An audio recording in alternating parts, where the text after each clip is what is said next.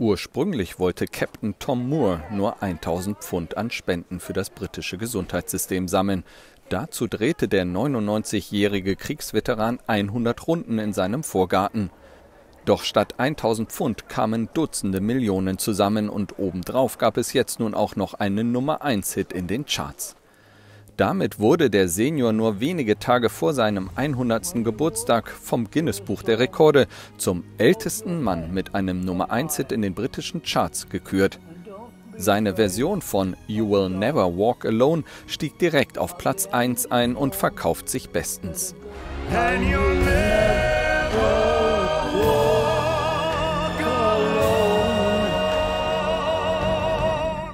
Bereits zuvor hatte er einen Guinness-Buchrekord aufgestellt für das meiste Geld, das ein Einzelner durch einen Wohltätigkeitsspaziergang gesammelt hat.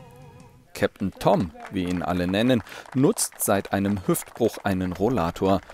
Durch die erfolgreiche Spendenaktion in England ist er nun völlig ungeplant zu einem berühmten Helden geworden. Und die große Aufmerksamkeit, die er zurzeit bekommt, scheint ihm nicht viel auszumachen. Sein 100. Geburtstag ist am 30. April und man darf schon jetzt darauf gespannt sein, was er sich wohl als nächstes ausgedacht hat.